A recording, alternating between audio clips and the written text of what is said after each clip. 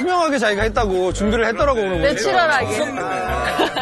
자, 일단 저 각자 한 분씩 인사를 좀 드릴게요. 인사를 좀 해주세요.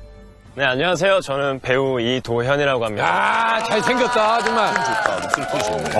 혼란이 좀 전소발이, 전소발이는. 저, 저도 최근이에요. 저도 아직 태어난 지 얼마 안 된 게 그 구전마을에서 세찬이한테. 알았어요. 아, 눈이 뜯겼구나. 맨날 저런 분이랑 함께 이런 레이스를 하는 거예요. 어떻게 이겨내죠? 내 여자친구는 세찬 형 여자친구. 내 여자친구는 세찬 형 여자친구.